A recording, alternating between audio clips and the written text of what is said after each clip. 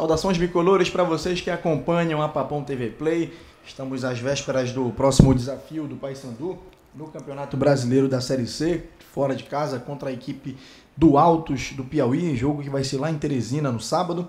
E recebemos o técnico Roberto Fonseca para entrevista coletiva. Ele vai responder as perguntas enviadas pelos colegas da imprensa. Professor, eu começo pelo Ednan Carlos, da Rádio Nativa FM de Irituia do Pará. O Altos marcou três gols nos últimos dois jogos. O Paysandu vai se posicionar mais para o contra-ataque do que propor o jogo? Não, nós temos uma maneira já de jogar inserida no contexto da nossa equipe, né? Nós, nós vimos jogando bem, tanto é que nós vimos aí de quatro resultados é, importantes, né? Que nos levaram aí na vice-liderança da nossa chave. Então a gente não tem como você estar tá mudando. Lógico que de repente, em momentos, você tem que ser inteligente, né? Saber a hora de subir, na hora de abaixar, de acordo com a situação da partida. A nossa equipe ela já tem isso bem definido e eu espero que a gente possa estar tá dando prosseguimento à maneira que nós viemos fazendo já na competição. Para virar a página da última goleada sofrida, só com uma vitória no sábado? Claro, nada melhor do que resultado. Eu falo sempre que quando você ganha, a sua alegria tem que ir até na segunda, terça-feira. E quando você perde também, claro que serve de reflexão. Nós temos que é, analisar o que acertamos e erramos, óbvio, para poder acertar. Mas a partir de terça-feira nós já estávamos aqui focados, pensando totalmente na nossa decisão, que nós temos que pensar em, ter, em se manter aí dentro desse G4 de classificação. Felipe Silva, da Rádio Metropolitana, pergunta o que, tem de mudar do jogo passado para o do próximo sábado em Teresina. Uma pergunta parecida com a do Thiago Lopes, do GE. Depois de ser goleado no Ceará, o que o time deve apresentar de mudanças para o confronto diante do Altos? Nós temos que ter mais concentração né, em cada momento do jogo. Você não pode é, começar ou iniciar um jogo da maneira que a gente iniciou, essa é uma grande realidade. Tanto é que nós tomamos dois gols logo no começo e, obviamente, jogando fora de casa acaba ficando muito mais difícil. Então, nós temos que estar ligado, concentrado, sabendo que cada jogo aí é uma decisão.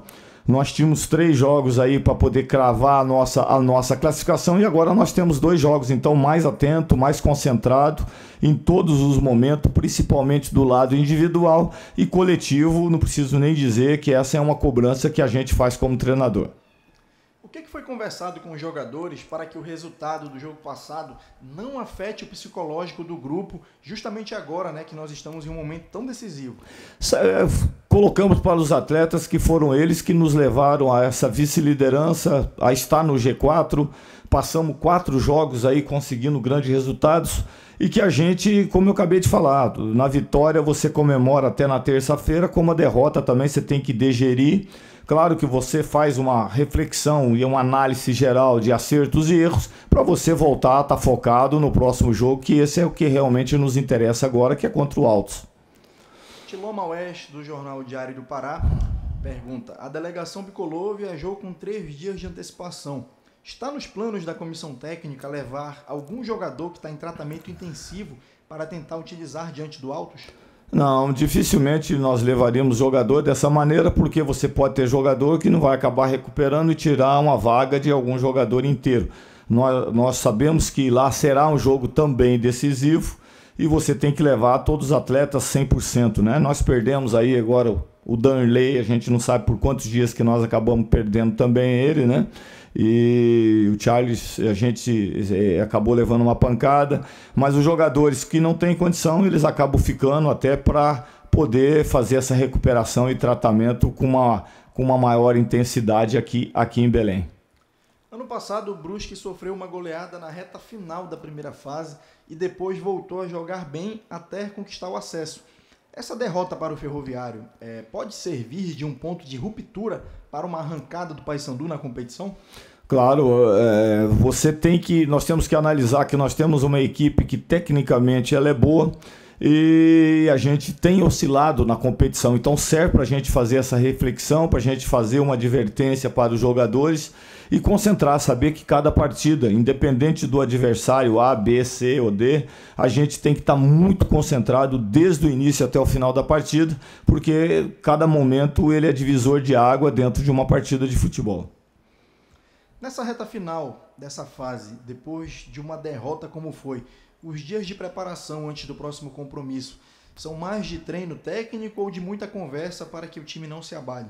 Não, eu acho que todos, é, é, é todo contexto ele tem que ser analisado e trabalhado, né? Nós temos, como eu sempre falo, você tem a, a sua reflexão, análise e advertência na derrota, como também na vitória.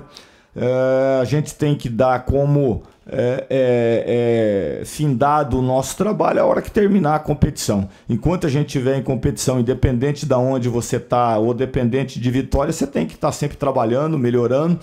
Nós ainda estamos aí numa vice-liderança dessa competição, desse, desse, desse G4, e a gente tem que manter. Então, cada jogo é decisão e a gente tem que fazer reflexões em todos os momentos para que possa haver melhoras e um maior poder de concentração em, em todos os momentos. Como é que está o clima depois de um resultado adverso e buscando forças para se recuperar na competição? Quem pergunta é o Lino Machado, da RBA TV. Não, eu, como eu falei, você tem que ter é, o, o, digerir, né? Vitórias e derrotas. Claro que tem umas que elas são mais doídas, mas ela tem que ir até numa terça-feira. Depois você tem que estar tá novamente melhorando, é, se reorganizando, porque você já tem uma outra decisão aí para frente. E nós temos que agora pensar em corrigir aquilo que nós erramos enfatizar os nossos acertos, porque nós temos outra decisão aí contra o Altos e depois aqui dentro da nossa casa contra o Manaus. E são dois jogos extremamente decisivos que está sendo jogado os jogos da nossa vida, dessa, dessa, dessa, dessa, dessa equipe dentro da, dentro da competição apesar da segunda colocação na tabela, tem alguma coisa que lhe preocupa em função dessa pontuação apertada na classificação? Claro, você tem que estar sempre ligado, concentrado, buscar pontuações, porque qualquer vacilo você pode sair também desse G4, mesmo você estando hoje na vice-liderança. As últimas três perguntas, professor, quem enviou foi o Dinho Menezes, da Rádio Clube do Pará. Começando aqui com a primeira, ele quer saber se tem alguma coisa acontecendo no elenco que fuja da sua competência. Não, de maneira alguma. Os jogadores estão imbuídos né, no trabalho, na nossa, na nossa sequência aí para buscar a nossa, a nossa classificação. Claro que de repente fugiu for, foram as lesões, né? Que são coisas que a gente não gostaria, que a gente fica é, chateado, porque as lesões elas fogem um pouco né, da, nossa, da nossa competência, acaba acontecendo, mas no geral está dentro, aqueles que estão entrando aí, eu tenho absoluta certeza que vão estar dando conta dos recados e nós, estamos que, nós temos que dar continuidade a esses jogos super decisivos que nós temos pela frente. O que, que mais te incomodou no jogo de segunda-feira? Eu acredito que o resultado em si e a lesão, né? A lesão do Darley foi uma coisa que chateou bastante a gente, porque acaba fugindo do nosso controle, uma coisa que a gente não gostaria. Mas eu acredito que são essas duas coisas que a gente acabou fugindo e que não gostaríamos que tivesse acontecido. E a última pergunta para a gente finalizar: o que, que vai ser mais difícil nessas últimas duas partidas dessa fase? Montar o time ou levantar o astral de quem estará à disposição da comissão técnica? Não, o astral, eu acredito que o atleta que veste uma camisa como essa, é forte, é do Paysandu, é, a cobrança é uma coisa natural e o astral tem que estar sempre alto. Nós temos aí outra decisão pela frente, brigando por uma classificação. Eu acho que um astral mais alto do que, do que isso seria impossível que nós pudéssemos ter nesse momento que nós estamos hoje vivendo no, no ano e dentro dessa, e dentro dessa tabela de classificação.